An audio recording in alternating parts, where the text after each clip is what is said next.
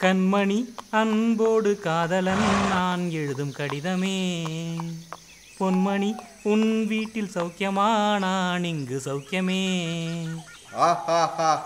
என்ன விக்ரமாதித்தா?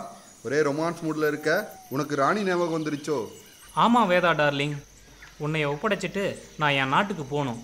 வா போகலாம் கதகேலு கதகேலு நீ என்னோட கதகேலு பதில் சொல்லு பதில் சொல்லு விக்ரமா பதில் சொல்லு. ஆஹாஹாஹா. அப்புறமா போலாம்.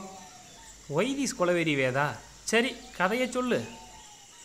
சேலம் மாவட்டத்துல மேச்சேரின்ற ஊர்ல ராசுன்னு ஒரு விவசாயி ஆடுகளை வளர்த்து வந்தார். அவர்கிட்ட யாராவது ஆடு வளர்ப்புல இருக்கிற அறிவியல் முறைகளை சொன்னா எனக்கு எல்லாம் தெரியும். நீ உன் வேலையை பாரு.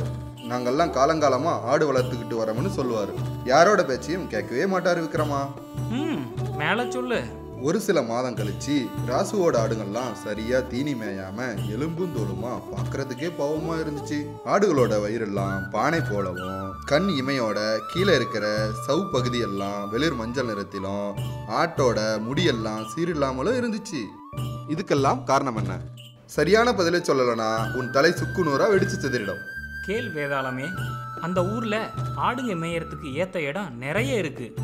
ஆனால் ராசு தன்னோட ஆடுகளுக்கு குடற்புழு நீக்கம் செய்யாமல் அலட்சியமாக இருந்ததால் ஆடுங்களோட வயிற்றுல குடற்புழுங்கெல்லாம் அதிகமாக வளர்ந்து வயிறு பானை போல பெருத்துடுச்சு. அது மட்டும் இல்லாமல் வயிற்றில் இருக்கிற புழுக்கள் எல்லாம் ரத்தத்தை உறிஞ்சி சிவப்பணுக்களோட அளவை குறைச்சிடுச்சு. அதனால் ஆடுகளுக்கு ரத்த சோகை உண்டாகி அதனோட கண்களோட கீழ் இமை சவ்வு பகுதியானது வெளிர் மஞ்சள் நிறத்தில் மாறிடுச்சு. இப்படி ராசு தன்னோட ஆடுகளுக்கு குடற்புழு நீக்கம் செய்யாமல் விட்டதால் ஆடுகள்லாம் சரியாக தீனி எடுக்காமல் எலும்பு தோலுமாக இருக்கு வேதாளமே. பிரமாதம் விக்ரமா குடற்புழு தாக்கத்திலிருந்து ஆடுகளை காப்பாற்ற ஏதாவது வழி இருக்கா? ஆட்டுக்குட்டி பிறந்த பதினஞ்சாவது நாள்லையும் அதுக்கப்புறம் ஒரு மாத இடைவெளியில் தொடர்ந்து மூணு மாதத்துக்கும் குடற்புழு நீக்க மருந்தை கொடுக்கணும். அதாவது பதினஞ்சாவது நாளில் ஒரு முறையும் நாற்பத்தஞ்சாவது நாளில் ஒரு முறையும் எழுபத்தஞ்சாவது நாளில் ஒரு முறையும் கடைசியாக நூற்றி அஞ்சாவது நாளில் ஒரு முறையும் மருந்து கொடுக்கணும். அது மட்டும் இல்லாமல் பாமாச்சாங்கிற அட்டையை பயன்படுத்தி குடற்புழுவால் பாதிக்கப்பட்ட ஆடுகளை நாம் கண்டுபிடிக்கலாம். குடற்புழு நீக்க மருந்தை அந்த ஆடுகளுக்கு மட்டும் கொடுத்தோம்னா போதுமானது. அது என்ன பாமாச்சாட்ட விக்ரமா அதை எப்படி பயன்படுத்துவது?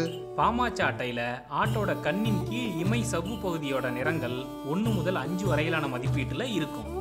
நாம ஆட்டோட கண்ணின் கீழ் இமை சவ்வோட நிறத்தை பாமாச்சா அட்டையில் இருக்கிற நிறத்தோட ஒப்பிட்டு பார்க்கணும்.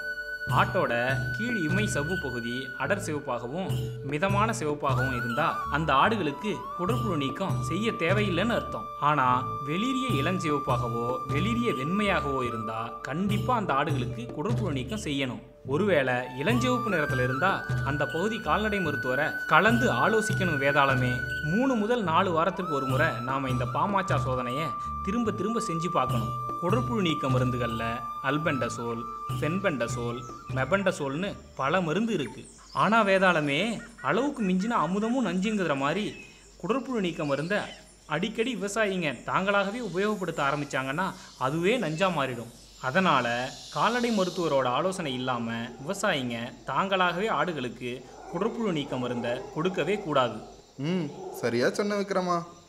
சரி வேதாளமே இப்போவாவது நாம் போகலாமா முடியாது விக்ரமா. ஆஹாஹாஹா. கதகேலு கதகேலு இன்னொரு கதகேலு. கதகேலு கதகேலு நீ இன்னொரு கதகேலு. ஆஹாஹாஹா. இன்னொரு கதை சொல்லவா?